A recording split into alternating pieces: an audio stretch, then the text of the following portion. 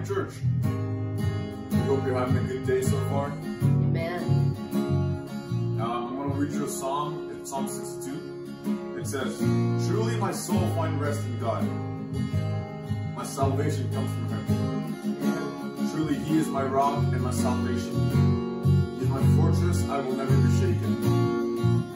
Today as we worship together, would you just keep that in mind, that He is the one that brings you salvation. He's the one that gives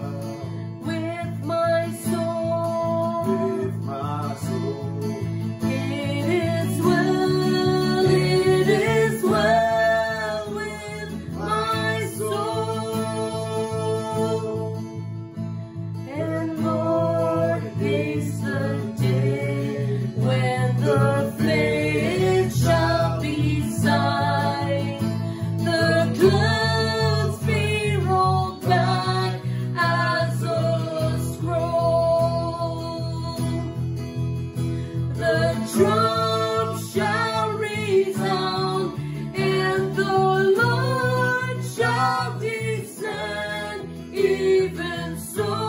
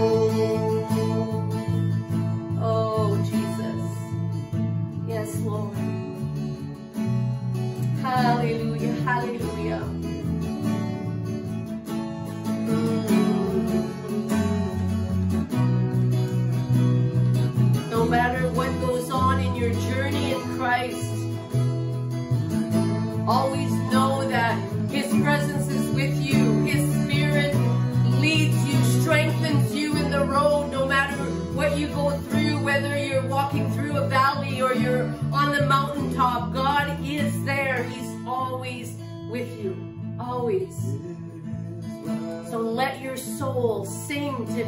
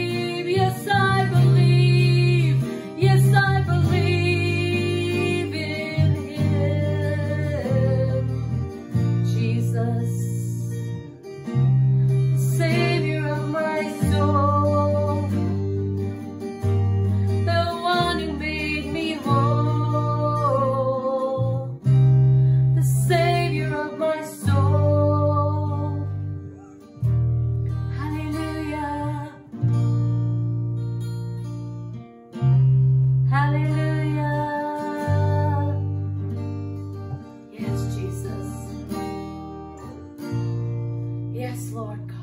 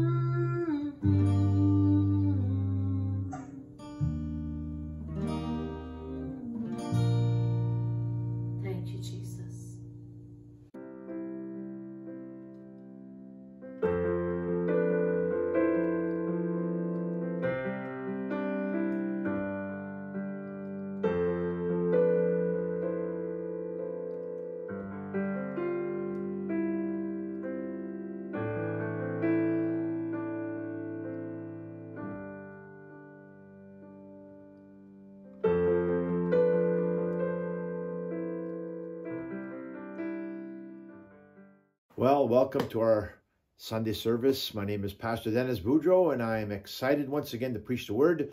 We have started last week a Christ is our all in all.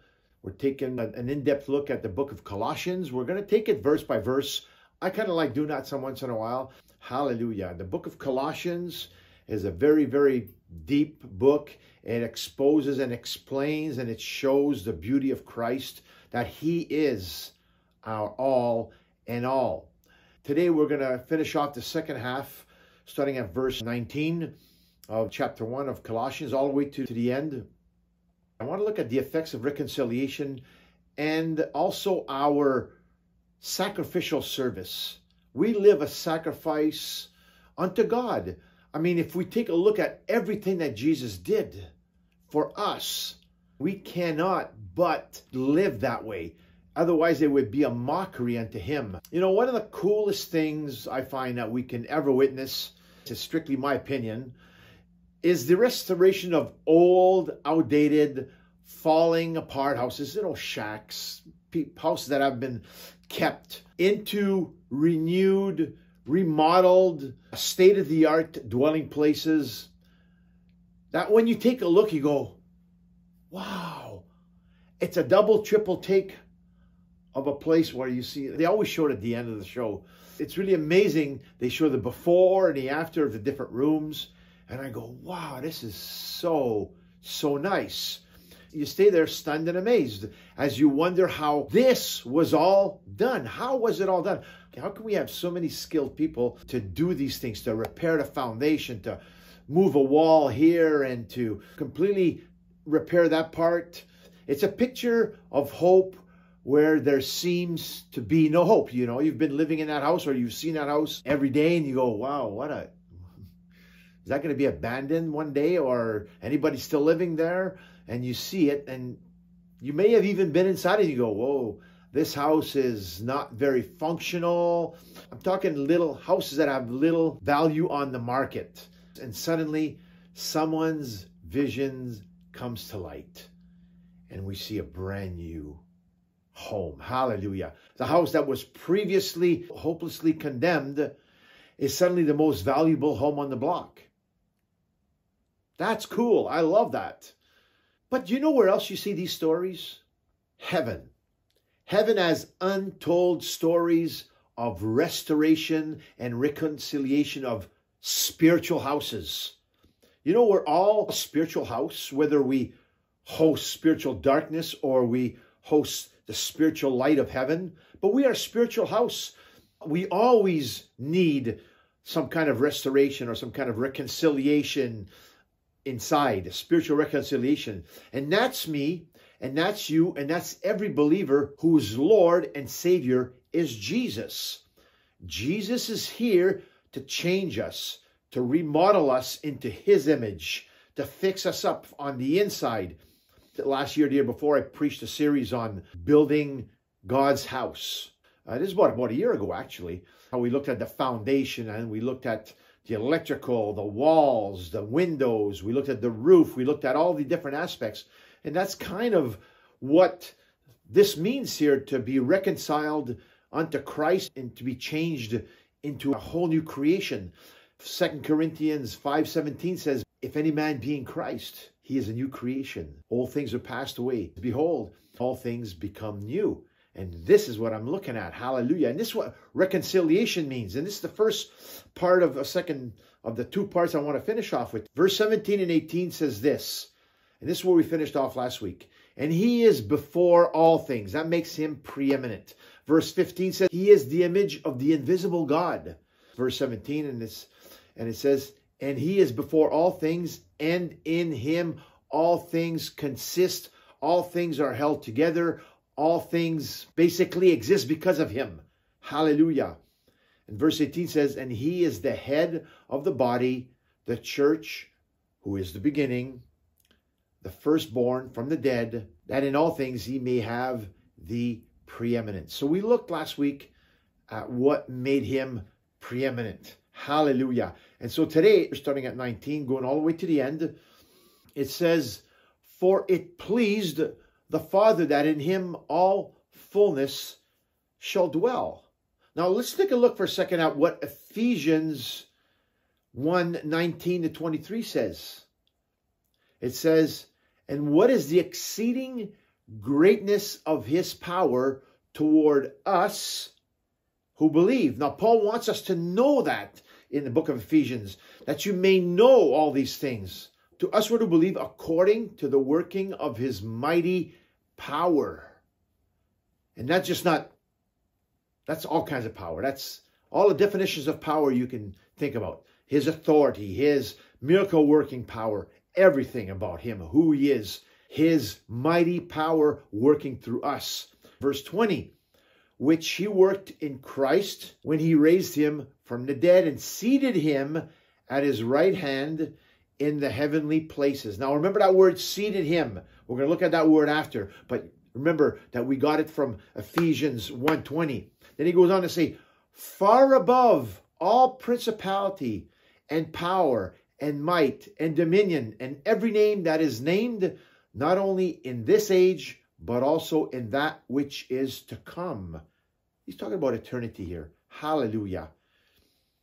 And he put all things under his feet and gave him to be head over all things, which is his body, the fullness of him who fills all in all. Jesus is all powerful, all knowing. Hallelujah. He is God.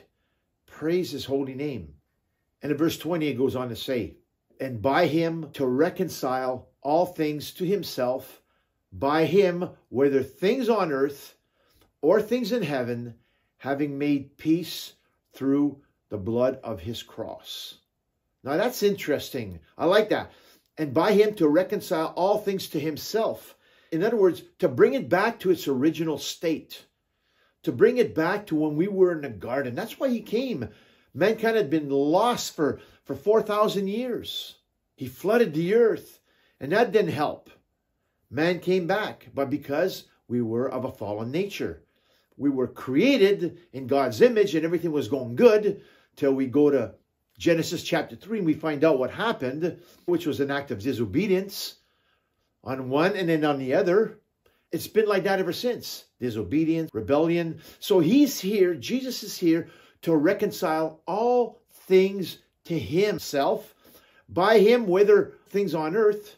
See, the cross, and it's done through the peace of the cross here having made peace through the blood of his cross. See, he carried that cross. He carried that cross all the way through till the end. The cross is exceedingly, by far, the greatest turning point in the history of mankind. So things began to be undone from what they were done, meaning that whatever the enemy had done in our lives, we can undo that now, okay? So things began to be undone when a born again man gave his heart to Jesus. And we started doing the God things. In other words, like if you read Luke chapter 4, verse 18, it says, The Spirit of God is upon me. That's Jesus talking. He says he came over to heal, deliver the people who were oppressed. He healed the sick. He raised the dead. And those are all things now that we do. So we're doing the God things now. That's what he means. And by him to reconcile all things to himself by him, whether things on earth or things in heaven, having made peace through the blood of the cross. Now we can do these things. We get to undo what the devil did, just like Jesus did back in the day. It's incredible. It's beautiful. It's a beautiful story of he himself coming down and destroying all the works of the devil, according to Acts 10.38, how God anointed Jesus Christ of Nazareth who went about doing good and healing all those who were oppressed of the devil, for God was with him. Hallelujah. There is no other event in history that can compare to the magnitude of the profoundness of the actions of one man, Jesus. To understand what happened when he came all of a sudden at the cross, when he died and rose again, there was that complete turnaround in history. Hallelujah. This part of history from the cross is a history of reconciliation now. Before it was condemnation, there was no way of us attaining heaven. But now we can through him. Hallelujah. The world has never been the same since. And one of the coolest things about all of this is that it was done in the spiritual realm and the physical realm simultaneously. He obeyed God, he obeyed the spiritual words of his father, and he applied them in the natural realm and he healed people. He was obedient. We can see what happens when you're obedient in the spiritual of what happens in the natural. Hallelujah. And that is still alive and well today. Every physical action that Jesus did in the natural was a victory in the supernatural. Praise his name. His obedience to his own death opened the portal to the resurrection of all things. Everything now, in a sense of speaking, can be resurrected. Every person on this earth can be resurrected from death to life in Christ. Yes, we're still living in the same body. We can become born again, fill with his spirits, and do his work. That can happen to everybody. Hallelujah. See, the groundwork and foundation for a new world were now fully established for the next chapter in the history of mankind. That's why this book is so so important to understand the ramifications and what happened um, with his coming to earth, his life, his death, and his resurrection. Now, as we receive him and as we give him permission to do what he needs to do in our lives, heaven is now free to roam on earth through the body, the church. Peace, the most desired commodity, would now be able to rule in the heart of man.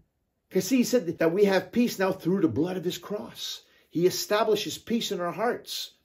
Glory to God. Oh, I love this word. Thank you, Lord. I encourage you to read this book of Colossians. I encourage you to, to read the whole Bible. It's an amazing book. Hallelujah.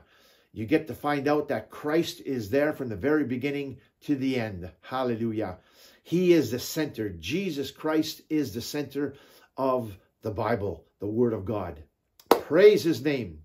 So peace was made, so to speak, on that bloody cross. In the messy cruelty of a bloody cross, peace between God and man was forged. Hallelujah. And sealed forever. Praise his holy name. Now let's go to verse 21. And he goes on to say, And you who were once alienated or basically without peace and enemies in your mind by wicked works, yet now he has reconciled. You had no peace. You were full of rebellion inside, even though you could have been a nice guy. Hey, but inside you were not born again. You were separated from God. But now he has reconciled you. Now he has put his peace in your heart. Thank you, Lord. Thank you, Lord God, that we don't do wicked works no more by nature, but now we do good works by nature. Hallelujah. It's the same similarity in the scriptures as Ephesians 2, 2 to 3. It talks about that. We were once separated. It kind of says the same thing here. I'm loving this, man. This is way better than McDonald's. Hallelujah. And verse 22 says, in the body of his flesh. So let's go back here and read for a second here. And you were once alienated and enemies in your minds by wicked works. How can we sin? We were by nature sinners, alienated and enemies of God. Yet now he has reconciled as we received him. Verse 22, in the body of his flesh through his death to present you holy and blameless and above reproach in his sight. See, Jesus is in the progress right now in working in us by his Holy Spirit in order to present his church to his Father. Hallelujah. Holy and blameless. You know what? We could be messed up still. But when we've made a decision to follow him, it's not about being perfect. It's about, like I said, going on to perfection. It's about being transformed and renewed. That's not instantaneously. That takes time. Hallelujah. But we are on the road to perfection. Thank you, Lord Jesus. You see, the blood of Christ cleanses everything that has ever been and that will ever be wrong with you. Think about what I just said now, okay? Everything that you hate about yourself in the past, that you didn't like, even now, because you're still not fully transformed, the blood takes care of all that stuff. Isn't that amazing? Thank you, Lord. Yet he presents to us before his father, look at my son. Yeah, I know he messed up, but he's in my way. And give him time, Father. He'll get over that part and then we'll work on something else. That's the way the, the scriptures show it, that he wants to present us holy, blameless, and above reproach in his sight. When he says, look at Dennis, look at Bob, look at Sil, look at Betty. These are my children. These are my followers. These are the ones that have been washed in the blood. My blood. Hallelujah. Everything that has ever been wrong with you, the blood has taken care of it. This is not earthly blood, by the way, folks. It is heavenly blood, sinless blood. It didn't come from his earthly father. His earthly father was Joseph. But he's not the one. Joseph was his stepfather, so to speak. But his heavenly father is the one that conceived Mary. Hallelujah.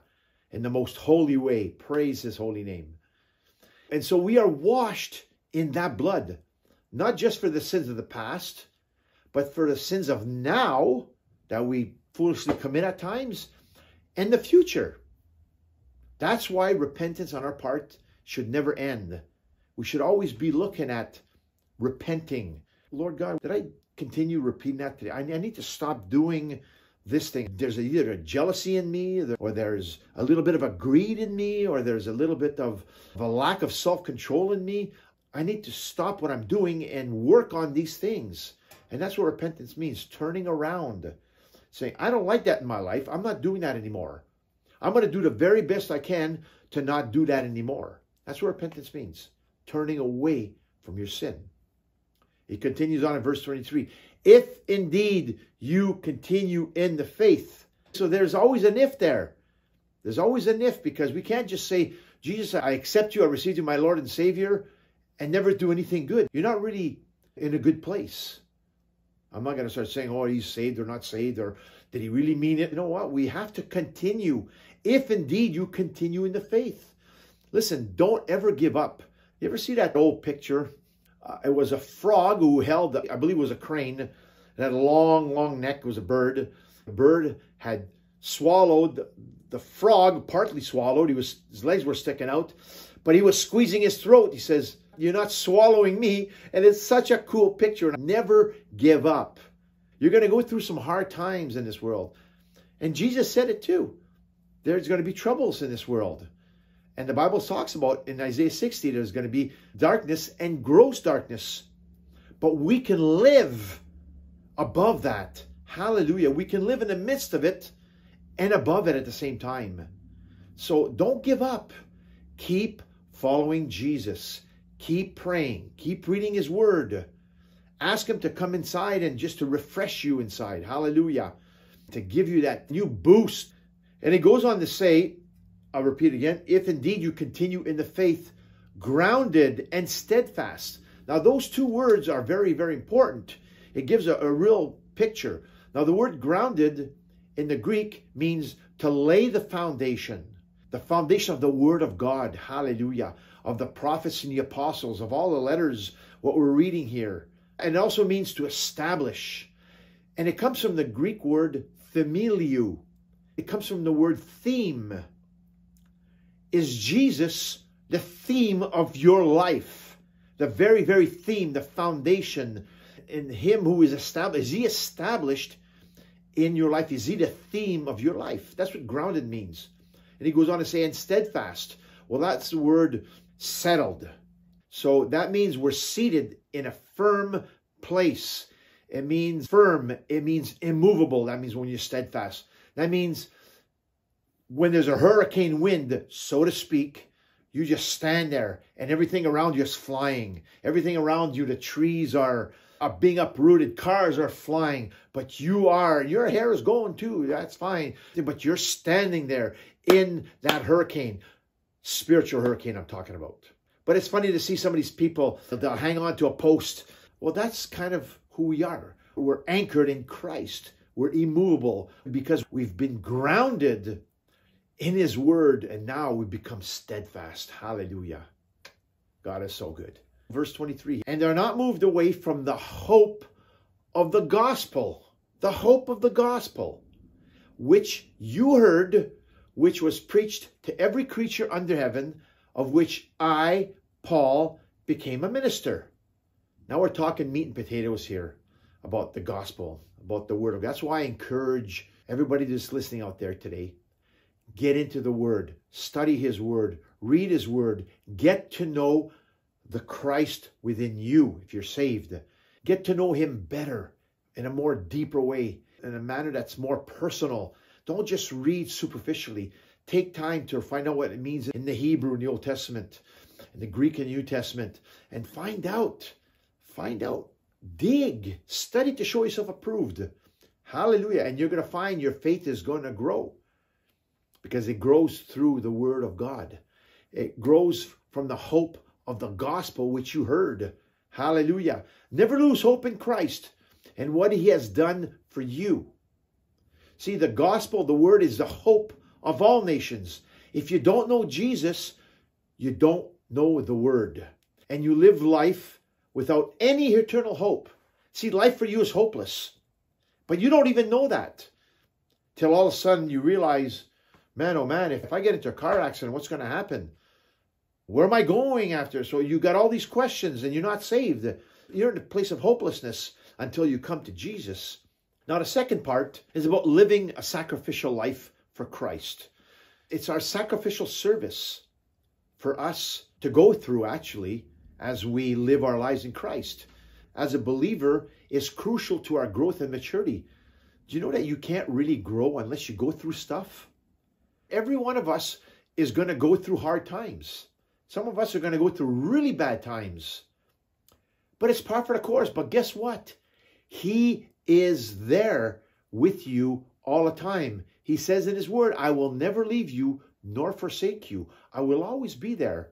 So it's our true consecration that stems from our acceptation of Jesus as our Lord and Savior. In other words, we can't just sit on the sidelines. We can't just say, I'm saved and I'm going to heaven. Praise God and avoid every hardship. You're going to be going through stuff a lot. And that's par for the course. You think Jesus didn't go through all that stuff? Man, he was persecuted throughout his whole ministry. Even the non-religious people persecuted him and says, oh, he's just a son of Joseph and Mary. Then you get the Sadducees and the Pharisees and the Sanhedrin and all these teachers, and they all came against him all the way through. So from the time he became a preacher, from the age of 30, when he got baptized and filled the Holy Spirit, it started, he went into the desert. He went through stuff. He fasted. He was tempted for 40 days. He went through stuff. We're going to go through stuff. He says that we are not greater than our master. So you got to wonder something. Don't go looking for it. It'll come to you. Don't worry about it. It'll come. Just keep serving the Lord Jesus. Keep speaking the truth. Keep doing what you're supposed to do according to his word. And you'll find yourself in a place where, whoa, okay. But you keep moving on. Because why? Because you're grounded and you're steadfast in his word. Hallelujah. Let the winds blow. Let the waves come. Harness those winds and harness those waves. That's the theme for my wife this, this year that she had. So praise his holy name. Hallelujah. And he goes, And I now rejoice in my sufferings for you because Paul suffered to get the word out. He suffered. He went through a lot of stuff, Paul. And he says here, I now rejoice my sufferings for you and fill up in my flesh what is lacking in the afflictions of Christ. In other words, he wants to go through stuff because that stuff, all the negative things, all the trials and temptations of life refine you. You come out after as pure silver and pure gold. Thank you, Lord for the sake of his body, which is the church. So we do that not for ourselves, but for the others. Hallelujah. There's people coming after you that are going to be able to see you as an example. Man, that guy went through a lot of stuff. Look at the stuff he went through, but look at how he came out of that. And look at who he is now because of that. We must go through stuff in our life with Christ. In our modern era, with all our human rights laws, it would seem that we don't get to go through stuff like the persecution of the early church. There wasn't laws that protected you. We have that today. So it would kind of seem like we're not doing as much. But let me tell you, if we get into the word and if we're not afraid to preach the gospel and stand on that and not let ourselves be pushed back, and I'm not talking about being forward and assaulting and all that. No, no, no. I'm talking about being loving, being caring, and preaching Jesus. You're going to get persecuted. Hallelujah. I say hallelujah because it's glory to God. I speak like that a lot because everything about the word is hallelujah, whether good or bad. Because there's always something that comes out of the bad that's going to be good. Thank you, Lord. The moment, like I said, you seriously step out in faith and in boldness in Christ, the devil awaits you with all that he has. But that should never bring any sort of fear upon the church, upon yourself. We were called for this, whether 2,000 years ago or now. 2 Timothy 3, verse 12 says this If we desire to live godly in Christ Jesus, guess what? We will suffer persecution. Par for the course, folks. Par for the course. We're going to lose family, loved ones. I know when he first got saved, man, oh man, I got mocked and ridiculed, but I was so filled, full of joy, knowing that I was going to heaven. Nothing was going to knock me off. But I mean, I lost a whole bunch of friends. I remember I used to hang out with a bunch of people at the mines where I used to be before, and we used to swear and smoke and drink and talk dirty and talk all these things that a normal unsaved guy would do to be part of a group. Then all of a sudden, slowly but surely, I started weaning myself away because somebody was talking to me about Jesus. And then I got saved. The Lord was doing something in my heart. But then the moment I got saved, man, when I came into that lunchroom, I, I didn't beeline for my guys, for my old guys. I beeline for the believers. And then all of a sudden the guys turned around. Some of them were saying, hey, what are you doing sitting over there now? And mocking me. Oh, you're one of those light brights now and reborns and all those things. We've had our share of persecution. But praise God, we were strong enough with friends and the church and just to keep going. The choice we make will decide the persecution we experience. If you read the Josiah Manifesto, a book by Jonathan Cahn, it just tells you how we are to live in these last days according to the word of God. And it's just mind blowing, but yet it's very, very sobering. For some of us, sometimes we tend to slack off and we tend to just kind of like find a nice soft cushion to sit on, spiritually speaking. This is an awakener. I advise you guys, read that book talking about King Josiah. And it's by Jonathan Cahn. So, and then he continues on, of which I became a minister. He's talking about the gospel here to one degree or another. Listen, folks, we're all ministers to one degree or another. Don't use that word minister and say, oh, minister preacher. Oh, he's a minister of this church. He's the head honcho. Don't look at it that way. We're all minister. We minister the gospel. If you talk to somebody on a street corner or on a bus, in a mall, in a grocery store, wherever you are, if you start speaking to him about Jesus, if you open up that door, if that door becomes open then you just enter in, you speak, you're a minister. You're ministering the gospel. Hallelujah.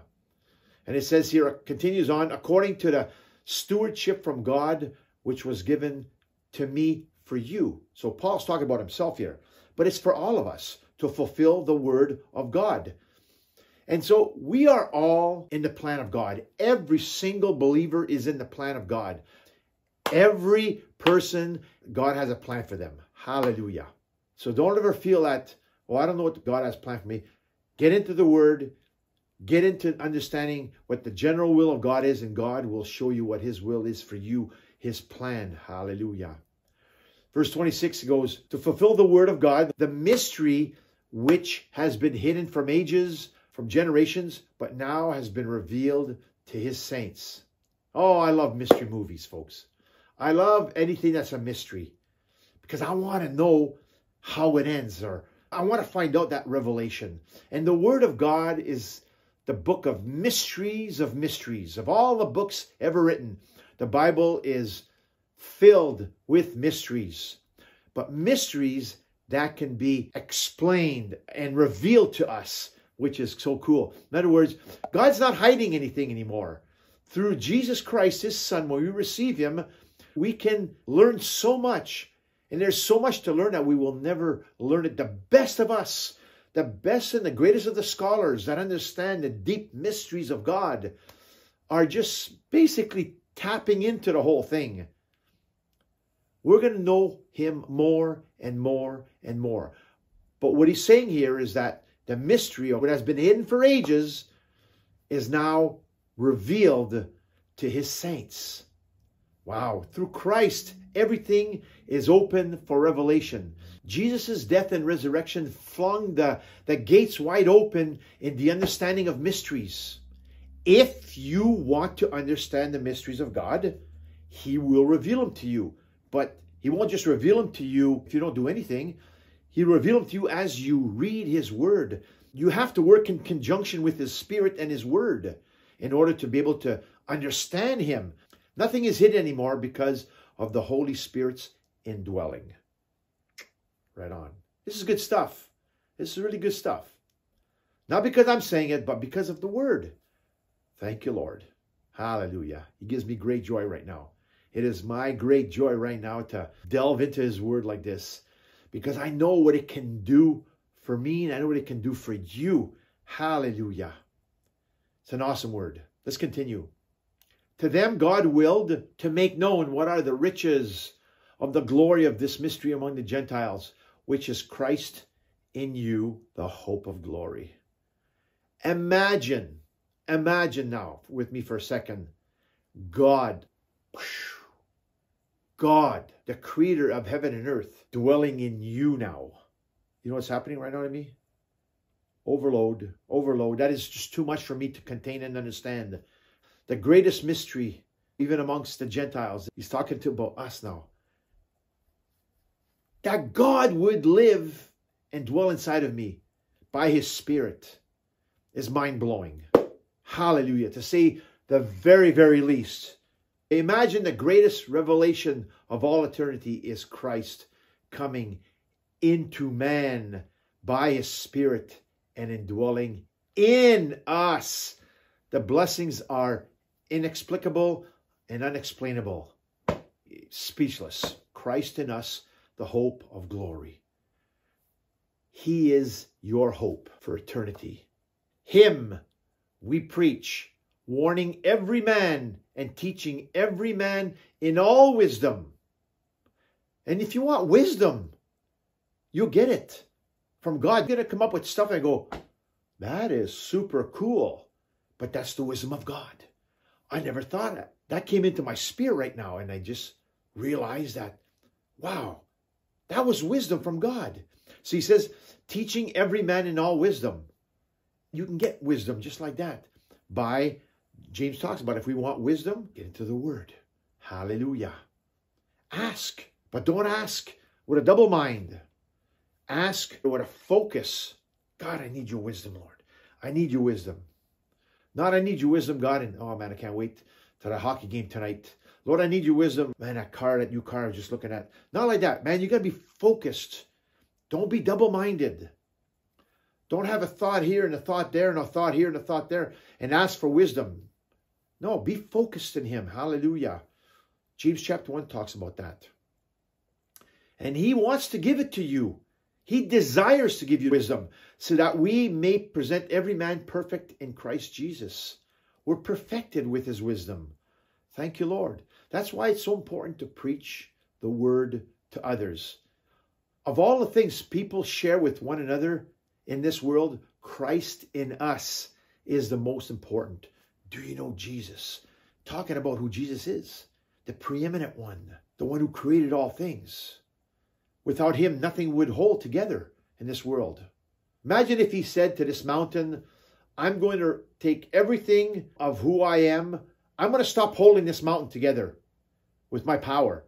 That mountain would just go right down to dust, to nothing. That's who he is. In him, all things consist. To believe in him as the Son of God and to receive what he has done for you and for me. Well, what has he done? He gave his life, first of all. So you know what you need to do? You need to receive his life.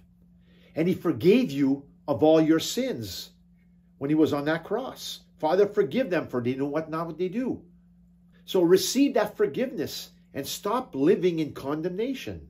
The forgiveness that you receive from him, understand that you're forgiven. You can't go back in the past as well, I'm I did this, oh I remember last year I did that. Now I'm just reaping all this. No, that's all forgiven. It's all forgiven. Understand that he also gave you true life. He gave his life so that he can give you true life. No Jesus, nada, no Jesus, no life. When you get to know Jesus, you'll get to know what true life is. So, no Jesus, no life.